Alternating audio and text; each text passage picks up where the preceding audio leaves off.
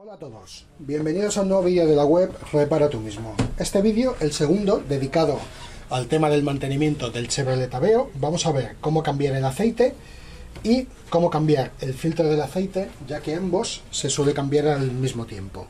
Son tareas que van parejas.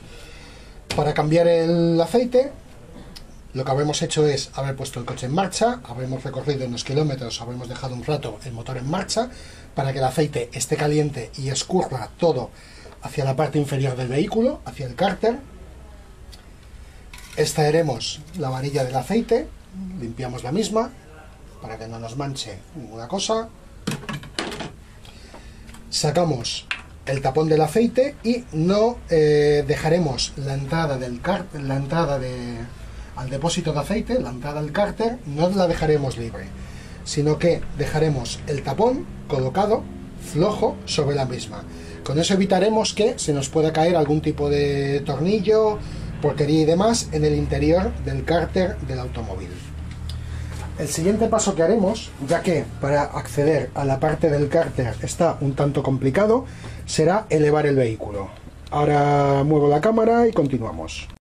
El cárter lo tenemos debajo del motor, como es natural, en un lateral del mismo. Lo tendremos situado en esta parte. Ya veis que desde el frontal del vehículo, sin elevar el mismo, apenas llego a dicho tapón para llegar con comodidad. Lo que haremos será elevar el vehículo para poder trabajar eh, con más comodidad. Poder sacar el tapón del cárter, poder introducir un cuenco para recoger el aceite y luego posteriori bajaremos el coche para que el aceite eh, salga completamente todo y volveríamos a elevar para colocar el, tapón nuevamente. Vamos a ver cómo lo haríamos.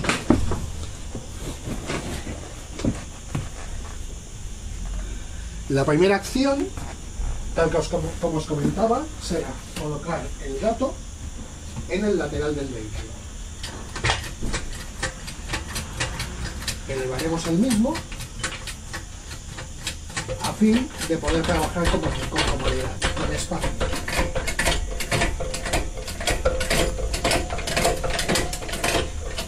Tampoco me importa elevar excesivamente el vehículo.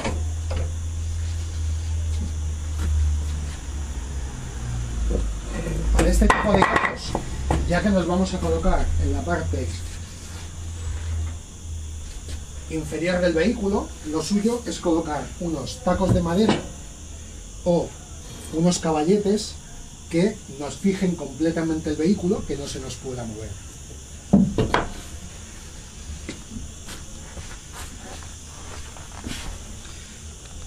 Colocaré los tacos de madera y de esta manera, en caso de que tuviéramos un accidente, de que el gato se soltara, el vehículo quedará sujeto por los tacos de madera.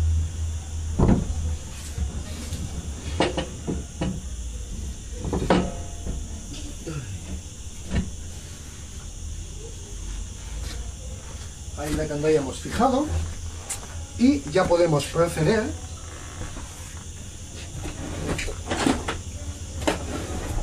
a aflojar el tornillo del cárter. Colocaremos un cuenco para poder recoger el aceite una vez que empieza a fluir y un trapo para limpiarnos las manos ya que las mismas se nos mancharán de aceite.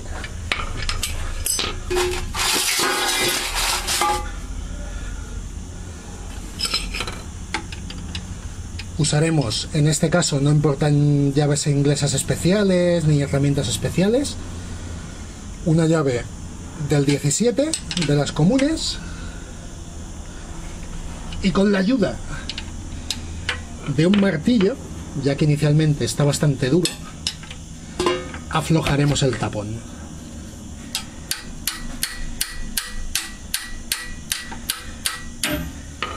Le damos los primeros toques y ya nos permite ir sacando el tapón del depósito. Vamos aflojando el mismo y empezará a fluir el aceite. Ya está a punto. Ahí lo tenemos.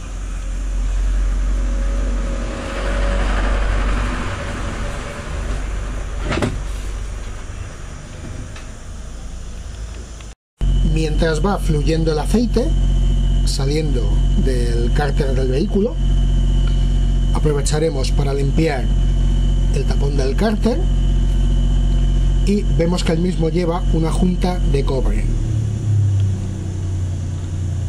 La misma, una vez utilizada, no se ve, normalmente se vuelven a utilizar, sino que se cambian las juntas y colocaremos otra junta de cobre en el tapón. En este caso la junta es un poco mayor, pero inicialmente no tiene por qué dar problemas. Estas son las que utilizaba para mi antiguo Citroën Sara. Y nada, han quedado por aquí, que siempre se pueden volver a utilizar, o mejor dicho, se pueden usar ya que son nuevas, para eh, otros tipos de, de tapones, aunque no sean perfectos. Usaremos una de ellas y nada, guardamos las demás. Ahora bajaremos el vehículo para que acabe de fluir el aceite que todavía queda. Y una vez esté escurrido totalmente el mismo colocaremos el tapón y volveremos a llenar el derecho quitaremos los tapos. Bajamos el coche ya he dicho para que el aceite acabe de chorrear como corresponde y si queda alguna gota que quede recogida por el depósito. Mientras se van recogiendo las últimas gotas del cárter, del depósito, una tarea complementaria es la sustitución del filtro del aceite. El mismo lo vemos aquí desde la parte superior del motor y con una llave de extracción de filtros sacaremos el mismo. Llaves para extracción de filtros existen de muchos modelos, formas, tamaños y tipos. Voy a probar en este caso otro modelo diferente. La que usé en el vídeo anterior era una de tipo cadena. En este caso voy a utilizar una de tipo mordaza. Hay otras que son de tipo abrazadera, que es una tira fina de acero inoxidable que aprieta y o sea, vamos girando, vamos apretando y va sujetando el filtro. En este caso vamos a utilizar esta que es de tipo palanca. A ver si es posible sacarla y que lo veáis, ya que digo, el hueco es bastante escaso. Buscaremos amordazar el filtro y vamos realizando palanca para extraer el mismo.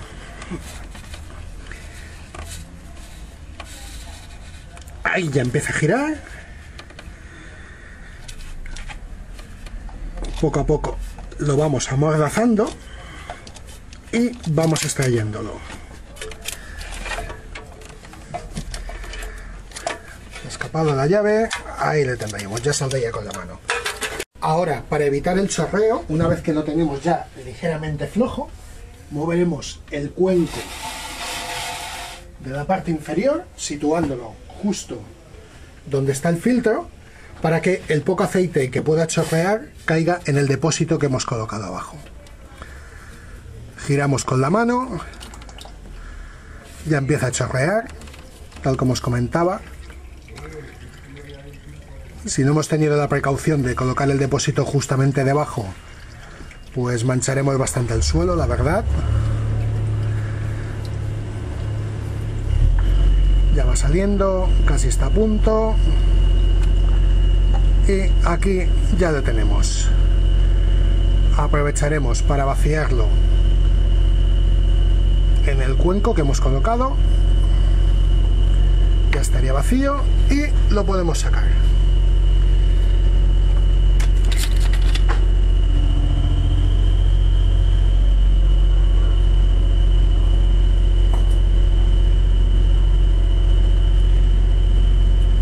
Limpiaremos toda la superficie inferior ya que la misma se llena bastante de aceite y podemos proceder a colocar el nuevo filtro. Comprobamos que el nuevo filtro sea idéntico al que vamos a sustituir. El mismo, eh, tal como os he comentado de otros recambios, lo podéis adquirir de eh, los repuestos directamente de la casa, por casas de repuestos de multimarca o por compra por internet. Vemos que aproximadamente el tamaño es el mismo, lo que importa realmente es la rosca, que sea igual. Y le damos un poco de aceite, del mismo que tenemos en el filtro que hemos quitado. Le damos un poquito a la rosca y a la junta de goma, para que la misma asiente adecuadamente cuando lo volvamos a apretar ahora. Ya lo tenemos a punto, vamos a proceder a colocar el filtro de aceite. Procederemos a la inversa de como lo, como lo hemos realizado para colocar el nuevo filtro. Nos aseguramos que esté todo seco, ya que hay zonas que una vez colocado no vamos a poder limpiar. Volvemos a pasar el trapo para limpiar los posibles restos de aceite que hayan quedado chorreados. Y ahora ya podemos proceder a colocar el filtro.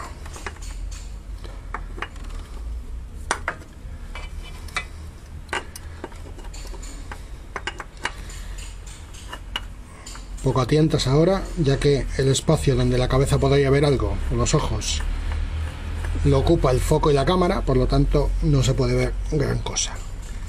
Apretaremos el mismo todo lo que sea posible con la mano.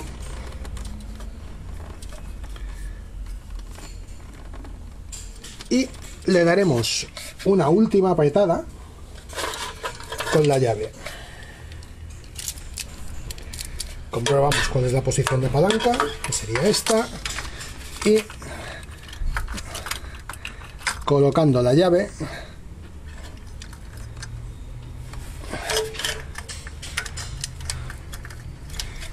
le daremos un par de toques de palanca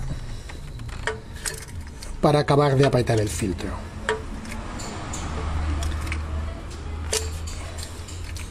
Ya casi estaría.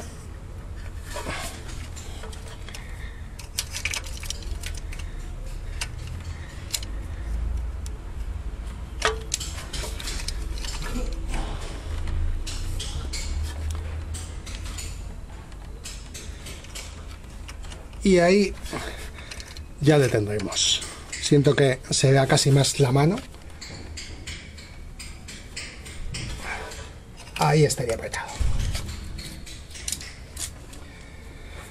Ahora ya el siguiente paso sería colocar el tapón del cárter y proceder a rellenar el depósito de aceite nuevamente con aceite nuevo. Para colocar el tapón del cárter, nuevamente volveremos a llevar el vehículo para trabajar con comodidad.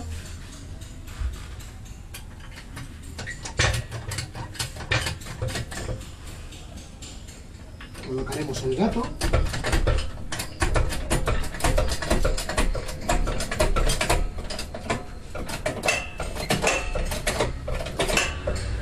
Y colocaremos los tacos de madera de seguridad.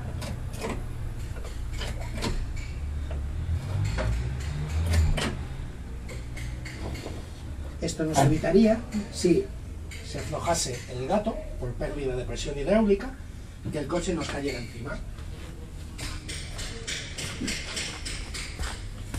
Ahora ya lo tenemos a punto para limpiar la zona de aceite y volver a colocar el tapón. Está cayendo un poco de aceite al haberlo elevado Esperaremos que acabe de escurrir el mismo. Aprovechamos para limpiar la zona de restos de aceite que hayan podido quedar. De cuando hemos sacado el filtro.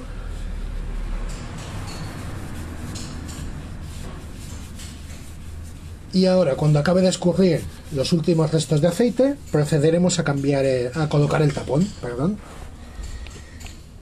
Ahora que ya ha acabado de escurrir completamente, que solo sale alguna pequeña gota, aprovecharemos para colocar el tapón, cerraremos el depósito con dicho tapón y limpiaremos las gotas que han podido escurrir. El tapón, tal como he comentado, lleva la junta de cobre que os he comentado antes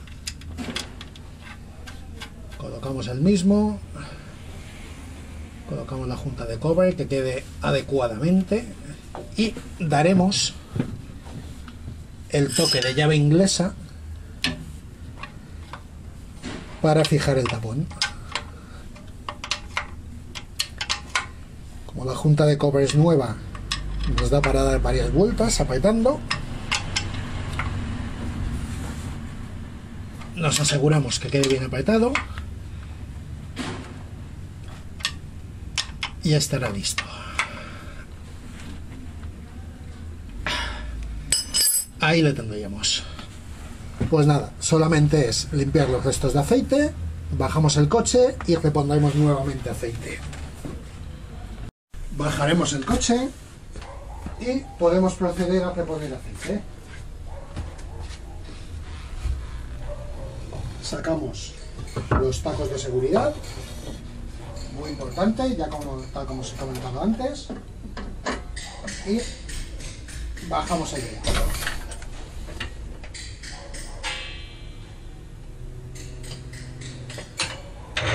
Ya una vez vaciado el cárter, el depósito de aceite del vehículo, lo siguiente y último, una vez colocado ya el tapón en la parte inferior, volvemos a colocar la varilla del aceite quitaremos el tapón y ahora ya colocamos un embudo y procederemos a reponer el aceite del vehículo. Dependiendo de cada vehículo lleva unos 3 litros y medio, 4 litros aproximadamente. Usaremos el aceite del grado que nos indica el fabricante, en este caso es un 1540. Iremos reponiendo y comprobando el nivel.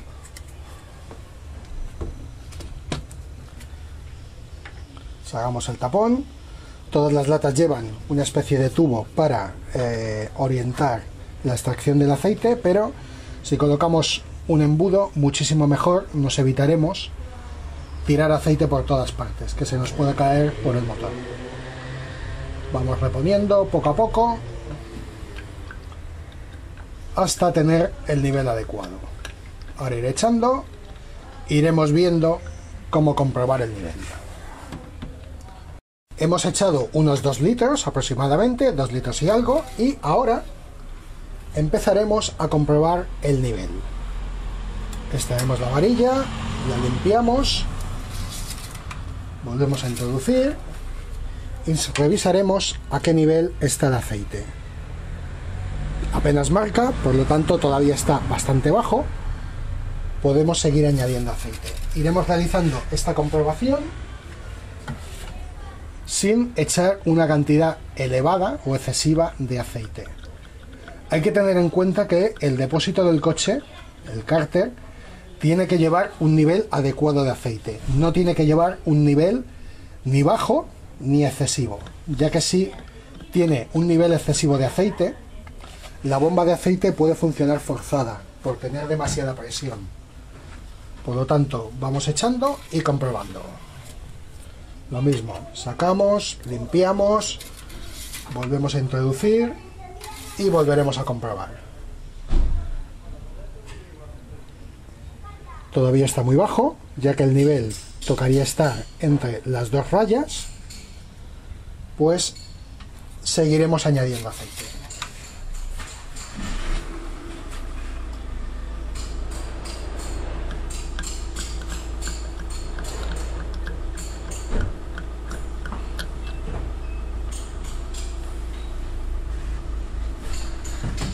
Y volveremos a comprobar.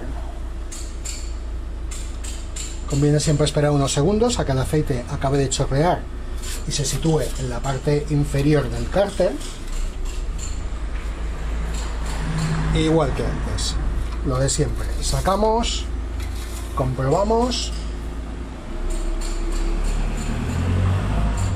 Ya empieza a llegar al nivel mínimo de aceite, por lo tanto debemos ir añadiendo poca cantidad.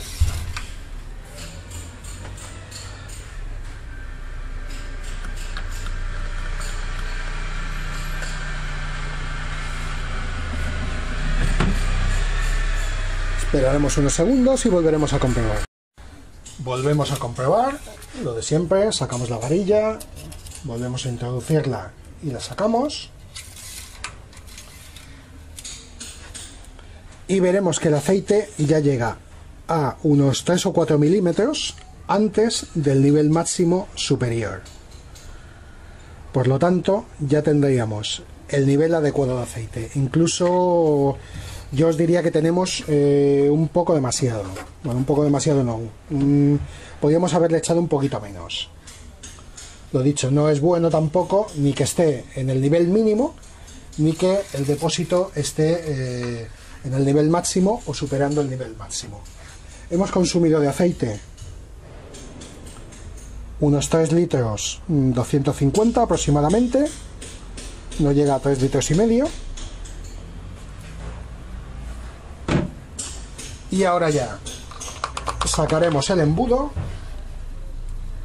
colocaremos el tapón y muy importante pondremos el coche en marcha para que el aceite se reparta por todo el, motor y por el filtro del aceite y volveremos a comprobar el nivel del mismo, ya que posiblemente haya bajado. Bueno, realmente habrá bajado un poquito. Hay que comprobar nuevamente el nivel para asegurarnos de que el nivel no baje excesivamente. Ponemos en marcha el coche. Lo dejamos unos segundos, en un par de minutos en marcha y comprobaremos el nivel.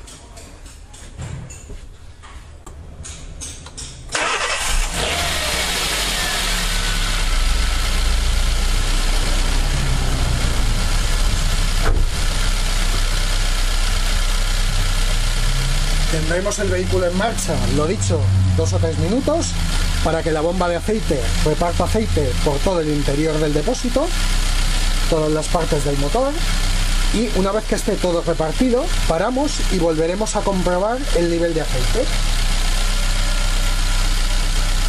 El tapón está bien sellado, no se nos perderá el mismo y ahora pasados estos 2-3 minutos volvemos a comprobar.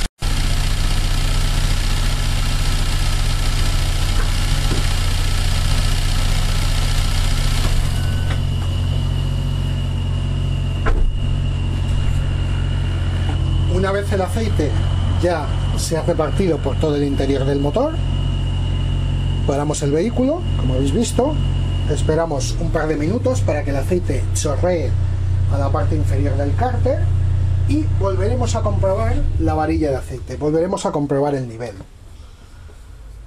Sacamos la misma, limpiamos y ahora volveremos a colocar la misma para medir el nivel.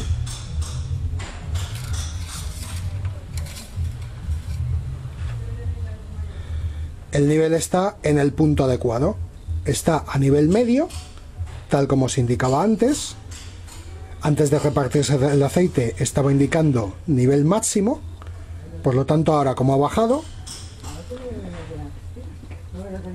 Esperaremos dos o tres minutos más a que acabe de escurrir todo el aceite. Volveremos a comprobar y si es necesario repondremos un poquito. Han transcurrido unos minutos con el motor parado. Volvemos a comprobar la varilla. Y si el nivel sigue indicando nivel bajo, reponemos un poco de aceite. Está indicando un nivel medio Voy a reponerle un poquito más y lo tendremos listo.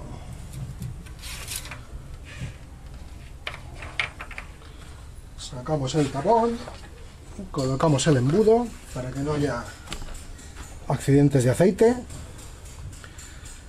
Un chorroncito más y ya estará listo. Quitamos el embudo Limpiamos los posibles restos de aceite que se hayan acumulado. Volveremos a colocar el tapón. Realizaremos la última comprobación de la varilla y todo terminado.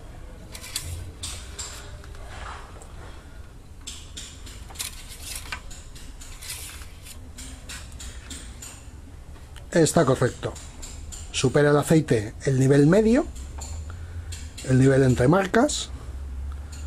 Por lo tanto, no le vamos a echar más, ya que eh, tampoco no es aconsejable para los motores que tengan un, exceso de aceite.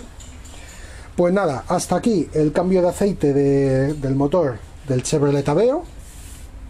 El cambio del filtro de aceite, que también está incluido cuando cambiamos el aceite del motor, cambiar el filtro al mismo tiempo. Y nada, espero que os haya gustado el vídeo, que os hayáis entretenido, que no haya sido aburrido, ya que no es mi intención. Y nada, que os sirva de utilidad si tenéis que cambiar el aceite de vuestro vehículo. Más o menos en todos los vehículos va por igual, pero bueno, este en concreto es del Chevrolet Aveo y que os pueda ser de utilidad. Un saludo y que sigáis visitando la página web y los vídeos. Repara tú mismo.